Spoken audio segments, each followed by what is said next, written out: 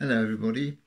It was reported the other day that the uh, European Food Standards Authority has authorised for use throughout the European Union uh, mealworms. Uh, they can be used to make pasta or to bake with, or apparently uh, covered in a nice chocolate uh, covering, they make a crispy snack. I don't know if your stomach is churning a little bit like mine is. The very word puts me right off it.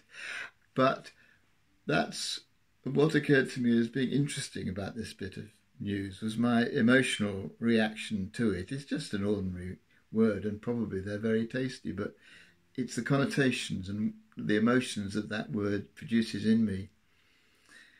Words have a habit of, of doing that, and they have all sorts of other functions which are more than just their immediate meaning. The um, Journal of Experimental Psychology thought it interesting, interesting enough to, to do a survey uh, of which were the funniest words. And they had a large sample of people with 5,000 words and asked them to pick out the funniest. And they eventually narrowed it down to, to 10, among which were uh, giggly, uh, guffaw, bubbly, and so on. Uh, the point they made was that it wasn't the meaning of these words that made people smile, it was the sound of it. The word uh, had much more to it than just its, its meaning. And, and that's, that's true too, I think, about words that come into the language, fresh ones. One that struck me recently was hangry, uh, obviously meaning um, angry because you're hungry.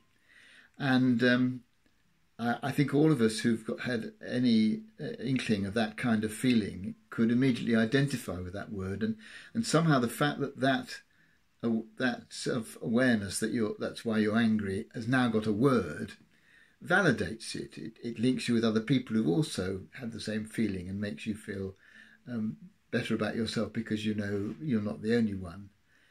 So words have all sorts of different purposes and, and meanings and effects on people. And I thought today I would just celebrate words because they have been so important to us, haven't they, in this lockdown period and continue to be so. The words that we see uh, when we tune in uh, to television on films that we're watching or when we're listening to podcasts or um, w- when we're uh, tuning in to online lectures or, or, or whatever, or, or um, words that we uh, hear from uh, phone calls that we make when we can't actually be physically with people. And more important still, the words that we hear from those who are in our bubble with whom we are spending a lot of time. And so it's uh, always uh, helpful if their words are encouraging and supportive and loving towards us. But they have been so important words and continue to be so while we can't actually be physically with each other. So let's let's celebrate them today, and uh, perhaps be aware that um, if words are that important, then we need to be careful about the ones we use, particularly with the ones that we're close to, with the people that we're close to in the in the bubble that we're part of because if we use words lovingly and kindly and generously, then that's one way of saying thank you for the wonder that is words.